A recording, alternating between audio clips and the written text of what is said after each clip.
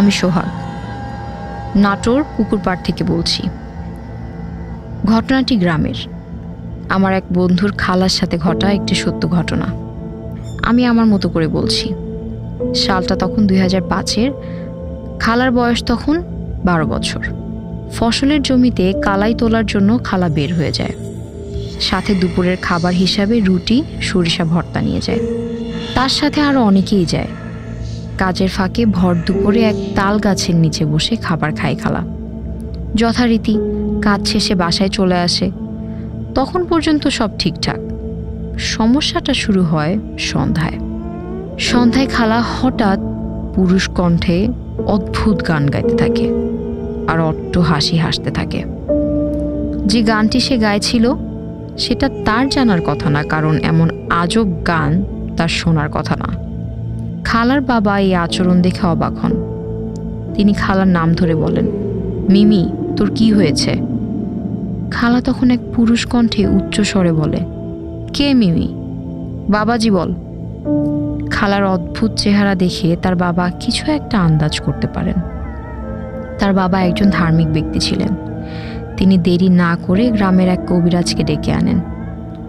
কবিরাজ খালাকে এসে দেখে, কবিরাজ খালাকে এসে দেখে বলেন তাকে একটি কবিরাজ খালাকে এসে দেখে বলেন, তাকে একটি মাদার ভর করেছে।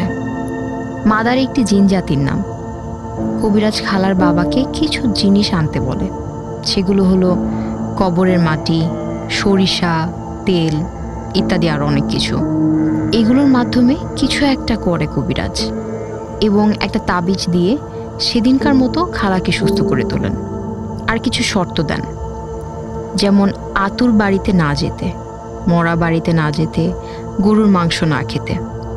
কবিরাজ বলেন, এগুলো না মানলে তাবিজ খারাপ হয়ে যাবে এবং আবার সমস্যা হতে পারে। এভাবেই চলতে থাকে অনেকটা বছর। দুই হাজার সতেরো সালের কোনো একদিন খালার মামা বাবা হন। সব কিছু ভুলে খালা চলে যায় তার মামার বাসায়, অর্থাৎ আতুর বাড়ি। পেছনের সেই দিনের কথা কারোই মনে নেই। সারাদিন কোনো সমস্যা হয়নি। সমস্যা শুরু হয় সন্ধ্যায়। সে আগের মতোই অদ্ভুত গান পুরুষ কণ্ঠে আর অট্ট হাসি। কেমন পাগলামি শুরু করে দেয়। ব্যাপারটা লক্ষ্য করে পরিবারের সবাই এক হয়। বুঝতে পারে ঘটনাটা কি। এই দিনটায় আমি নিজে উপস্থিত ছিলাম। আমি অনেক ভয় পেয়ে যাই। যাই হোক, যথারীতি কবিরাজকে ডাকা হয়। কবিরাজ আসে। তিনি খালার কনিষ্ঠা আঙুল চেপে ধরে এবং জিজ্ঞেস করে, কে তুমি? কোথা থেকে এসেছ? উত্তরে পুরুষ কণ্ঠে বলে, আমি মাদার।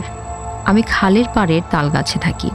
কবিরাজ জানতে চায়, একে কেন ধরেছিস? জিনটা বলে, একে আমি আরও অনেক আগে থেকে পছন্দ করি। মিমি যখন আমার তাল গাছের নিচে বসে খাচ্ছিল সেই দিন থেকেই আমার ওকে অনেক ভালো লাগে। আমি ওর সাথে থাকব। কেউ আমাকে তাড়াতে পারবে না।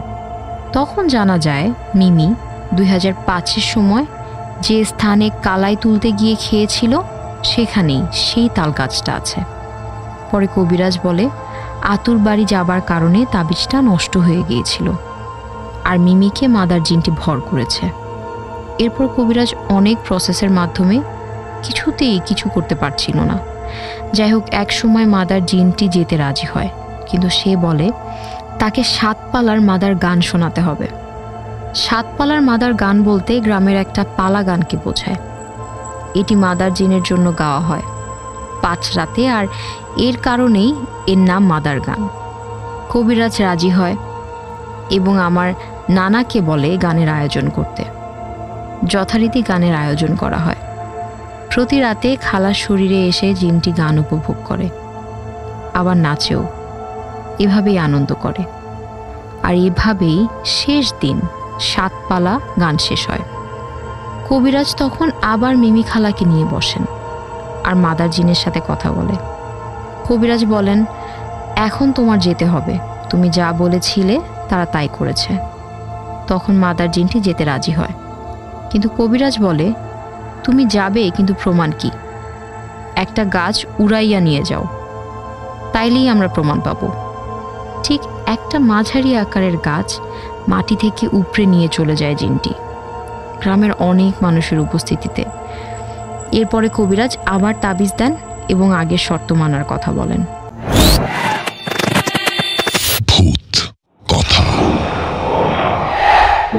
আপনার নিজের ভৌতিক অভিজ্ঞতাগুলোকে অন্যের কাছে পৌঁছে দিতে আপনার ঘটনাটি আমাদেরকে লিখে পাঠান রেডিও ফুর্তির অফিসিয়াল ফেসবুক পেজে মেসেজ করে অথবা অডিও ক্লিপ রেকর্ড করে। আমাদেরকে ইমেল করেও পাঠাতে পারেন ভূত কথা at radio Foorti dot F M radio Forte